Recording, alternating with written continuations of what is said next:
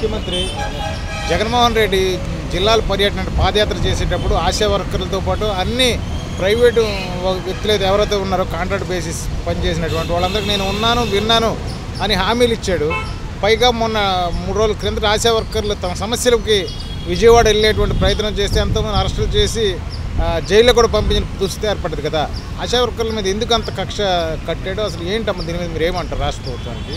జ జగన్మోహన్ రెడ్డి గారు పాదయాత్రలోకి వచ్చినప్పుడు ఆశా వర్కర్లకి నేను ఉన్నానమ్మా నేను విన్నాను అని చెప్పేసి అన్న జగన్మోహన్ రెడ్డి గారు ఈరోజు ఆశా వర్కర్లు రోడ్డు ఎక్కి అయ్యా మా కొడుకు కాలుతుంది మా కనీస వేతనం ఇవ్వండి అని అడిగి పెద్ద ఎత్తున మేము అడుగుతుంటే అనేక సార్లు మేము వినత పత్రాలు ఇచ్చినప్పుడు జగన్మోహన్ రెడ్డి గారు ఏంటన్నారంటే మేము ధర్నాకు దిగక ముందే మీకు పదిహేను వేల రూపాయలు ఇచ్చేస్తున్నామని చెప్పి ఆయన పేపర్లలోని ఆయన టీవీల్లోని ప్రకటన చేసుకున్నారు.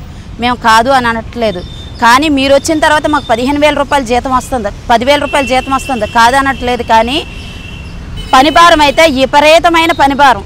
ఎన్సీడీసీడీ ఎన్ఎల్ఈపి అనేక వర్క్ అయితే వర్క్ లోడ్ అయితే ఎక్కువైపోయింది. కాదని మేము చెయ్యమని మేము ఏ రోజు ప్రజలకైతే ప్రతినిత్యము కూడా పనిచేస్తామని చెప్తున్నాము మాకు కనీస వేతనం మా కొడుకు కాలుతుంది కాబట్టి మా మా అద్దెలు కట్టుకుని ఇదే ఆశా వర్కర్లు ఒంటరి మహిళలు అనేక మంది ఉన్నారు.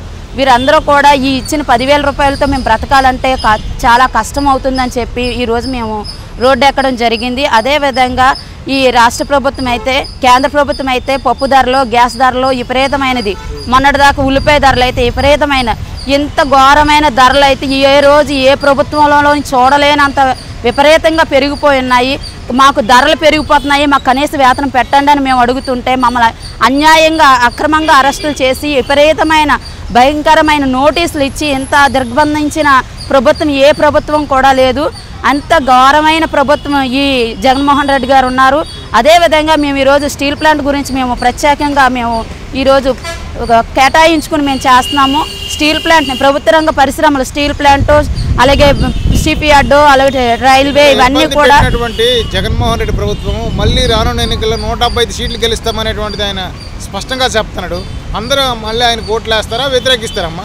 మొన్నటి దాకా అంగన్వాడీ అక్క చెల్లెమ్మల్ని అలాగే ఆ, సర్వశిక్ష అభియాను అలాగే మున్సిపల్ కార్మికులు వీళ్ళందరినీ అంతకుముందు పిఆర్సీలో టీచర్స్ని వీళ్ళందరినీ ఉసూరు పెట్టి నువ్వు ఏ ప్రభుత్వంలోకి వద్దామని చూస్తున్నావని మేము ఈరోజు ప్రశ్నిస్తున్నాం.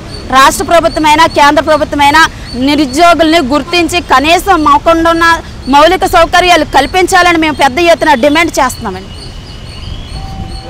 స్టీల్ ప్లాంట్ ప్రైవేటు పరం చేయొద్దు స్టీల్ ప్లాంట్ ఇప్పటికే రెండు సంవత్సరం రెండు సంవత్సరాలు నాకు జరుగుతుంది. స్టీల్ ప్లాంట్ను ప్రైవేటీకరణ చేయొద్దని ప్రభుత్వ రంగ పరిశ్రమల్ని ప్రైవేటీకరణ చేయొద్దని మేమందరం కూడా ఈరోజు పెద్ద ఎత్తున చేయడం జరుగుతుందండి.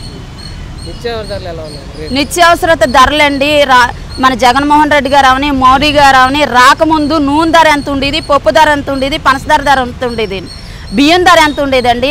విపరీతమైన ధరలతో కేజీ ఏది కొందామన్నా రెండు వందలు దాటే ఉంటుంది. ఏది పేదవాడు తిని బ్రతకాలంటే చాలా కష్టమైన పరిస్థితుల్లో ఉన్నాడు. పేదవాడు ఏ రకంగా బతకగలనని చెప్పేసి మేము ఈరోజు ప్రశ్నిస్తున్నాము.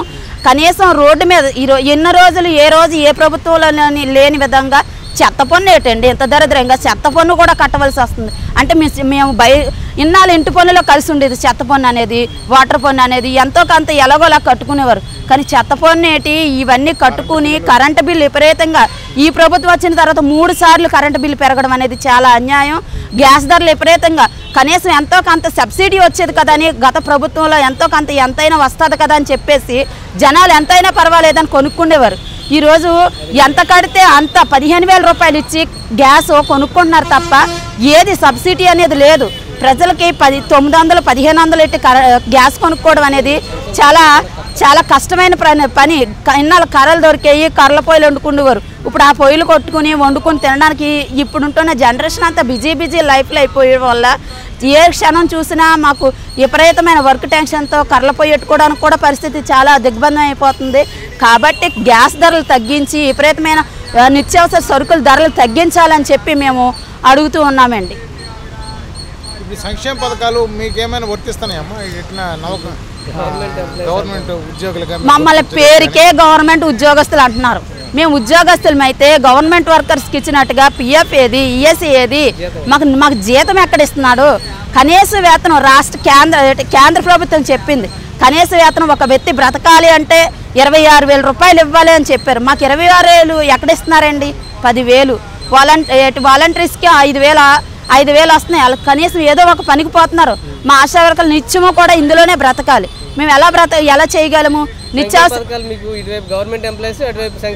ఇటు సచివాలయంకి వెళ్తే అమ్మ మీరు గవర్నమెంట్ వర్కర్స్ అంటున్నారు. మేము ఎక్కడికి వెళ్ళాలి? ఎవరికి చెప్పుకోవాలి? గవర్నమెంట్కే కదా విన్నవించాలి. కాబట్టి మాకు ఒంటరి మహిళలకి కనీసం భర్త చచ్చిపోయాడు పెన్షన్ వస్తుంది ఎంతో కొంత పెన్షన్ వస్తుంది కదా. నిరుద్యోగులై ఉండి కూడా పెన్షన్ కూడా తీసి పడేశారండి. ఈ- ఈ మేమేం కాదనడం లేదు. మేము మేము గవర్నమెంట్ ఉద్యోగస్తులమే. కాదనట్లేదు. మీ మీ పేపర్ లిస్ట్ ప్రకారంగా మాకు ఇరవై ఆరు వేల రూపాయలు ఇచ్చేయండి. మాకు మాకు ఇరవై ఆరు వేల రూపాయలు ఇచ్చేసి మమ్మల్ని గవర్నమెంట్ ఉద్యోగస్తులుగా మాకు ఏం వద్దు. పిఎఫ్ వద్దు. ఈఎస్సీ పిఎఫ్ అన్ని సౌకర్యాలు కల్పించి సంక్షేమ పథకాలు అన్నీ కూడా అమ్మఒడి అలాగే చేయూత అవన్నీ తీసేయండి. మేము వద్దనట్లేదు. ఈరోజు మేము పెద్ద ఎత్తున డిమాండ్ చేసేది ఆశా వర్కర్కి కనీస వేతనం ఇవ్వాలి. పిఎఫ్ ఈఎస్సీ సౌకర్యం కల్పించాలి కనీస వేతనం అంటూ గుర్తించి మమ్మల్ని గుర్తించి ఇవ్వాలని చెప్పేసి మేము పెద్ద ఎత్తున డిమాండ్ చేయడం జరుగుతుంది.